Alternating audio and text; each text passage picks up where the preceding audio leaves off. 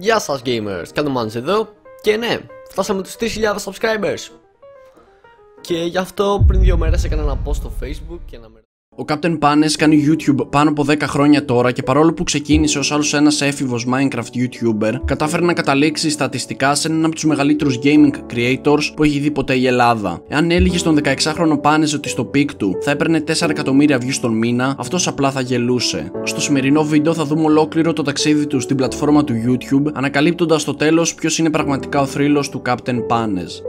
Ο Πάνες δημιούργησε το account του στις 31 Αυγούστου του 2012 και εμπνεύστηκε το όνομά του από το κανονικό του όνομα Πάνος και το όνομα του αγαπημένου του YouTuber της εποχής Captain Sparkles. Ανέβασε το πρώτο βίντεο στις 10 Δεκεμβρίου του 2012 και είχε τον τίτλο Minecraft διπλή επιβίωση μέρος πρώτο. Η συγκεκριμένη σειρά ήταν ένα απλό Minecraft survival walkthrough καθώς ο Πάνες και ο φίλος του Chris Killer είχαν ως στόχο να κερδίσουν το παιχνίδι σκοτώνοντας το τέλος τον Ender Dragon. Το τελευταίο επεισόδιο της σειράς ανέβηκε 10 μόνο μέρες μετά το πρώτο επεισόδιο και ενώ το project δεν ήταν κάτι το ιδιαίτερο, έδωσε σίγουρα μια γεύση στον Captain Panes για το πώς είναι να ανεβάζεις συστηματικά στην πλατφόρμα του YouTube. Ξεκίνησε άλλη μια σειρά με το όνομα Το κυνήγι του Δράκου και εκείνο το διάστημα έκανε και μερικά Minecraft tutorials που σύμφωνα με τις προβολές μπορούμε να πούμε ότι ήταν τα πρώτα βίντεο του Panes που πήγαν σε εισαγωγικά viral.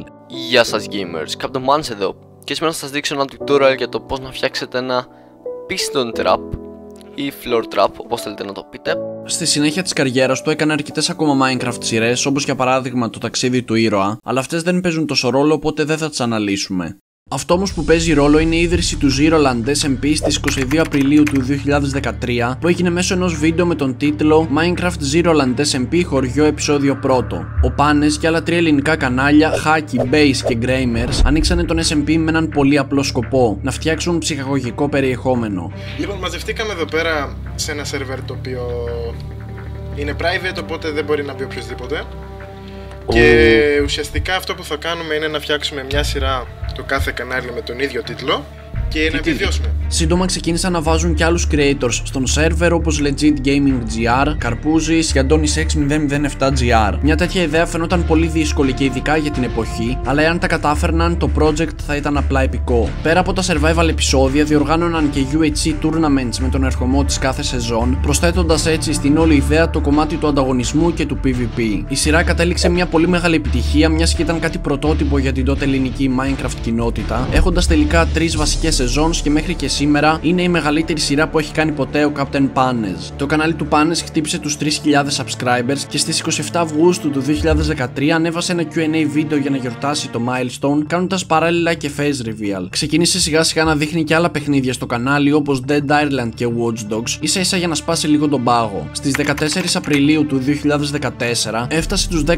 subscribers και 3 μόνο μήνες μετά ανέβασε το πρώτο viral βίντεο που είχε τον τίτλο Minecraft Troll Μαθαίνω PvP. Στο συγκεκριμένο βίντεο, ο Πάνες προσποιούνταν ότι ήταν ο ξάδερφός του και δεν είχε ιδέα από PvP μόνο και μόνο για να τρολάρει ένα παιδί της 6η Δημοτικού. Ξεκίνησε να κάνει συνεργασίες με άλλους YouTubers πέρα από τα επεισόδια του Zeroland και στις 19 Οκτωβρίου του 2014 κατάφερε να φτάσει τους 20.000 subs. Γεια σας gamers, κάνω εδώ.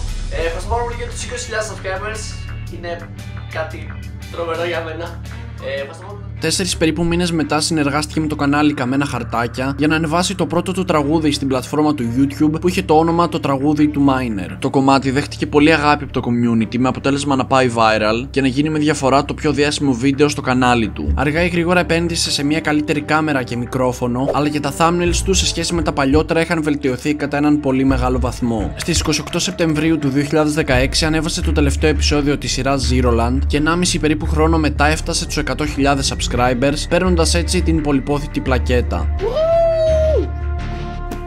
Αφρός! Congratulations for surpassing 100,000 subscribers!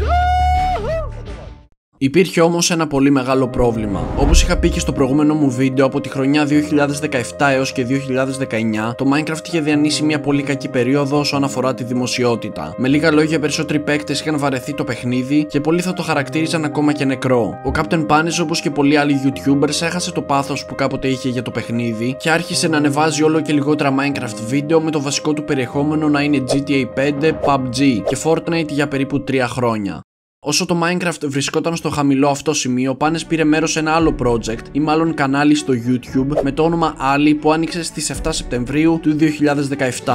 Σε εκείνο το κανάλι, ο Πάνες μαζί με τον Booyah TV, Τσάχ και τον πολύ καλό του φίλο από τα παλιά Χάκι συνεργάστηκαν για να πάνε τη δημιουργία περιεχομένου σε άλλο επίπεδο. Η όλη ιδέα άρχισε να έχει περισσότερο ενδιαφέρον όταν ανακοίνωσαν ότι θα μένουν όλοι μαζί σε μια τεράστια βίλα που περιλάμβανε έναν μεγάλο κήπο, πισίνα και ένα ξεχωριστό streaming δωμάτιο. Ανεβάσανε το πρώτο βίντεο τον Ιούνιο του 2018, αλλά παρόλο που το κανάλι πήγε πολύ καλά σε προβολές και η κοινότητα φάνηκε hyped, αυτοί αποφάσισαν να σταματήσουν να ανεβάζουν δύο περίπου χρόνια μετά. Το βασικό τους περιεχόμενο ήταν challenge video και gaming live streams, αλλά κρατούσαν και τον τίτλο του πρώτου YouTube House σε όλη την Ελλάδα. Ανεβάσανε το τελευταίο βίντεο στις 22 Αυγούστου του 2020 και ενώ δεν μένουν πια όλοι μαζί, υπάρχουν πιθανότητες να συνεχιστεί το project στο μακρινό μέλλον.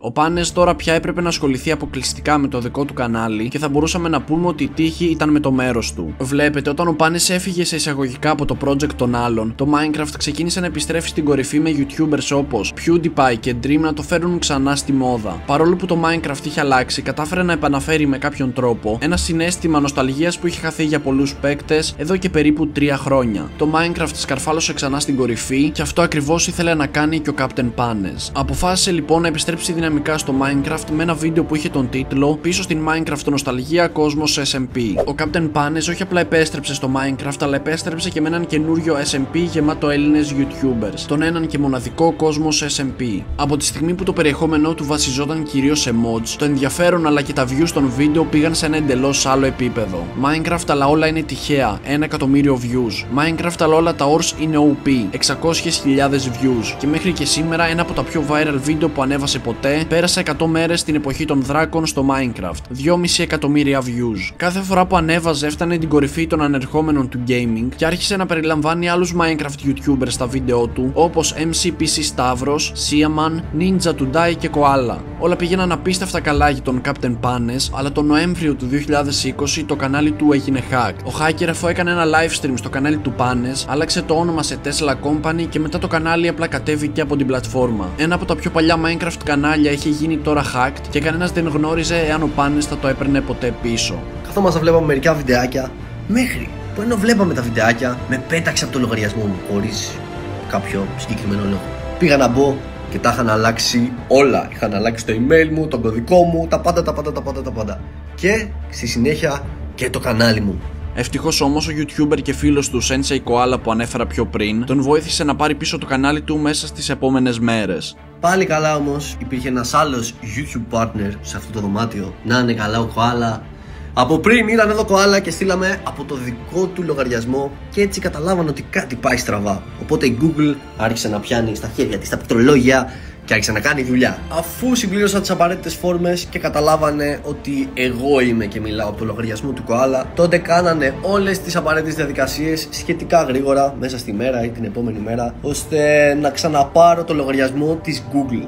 Τον Google λογαριασμό μου που περιέχει και το κανάλι μου μέσα.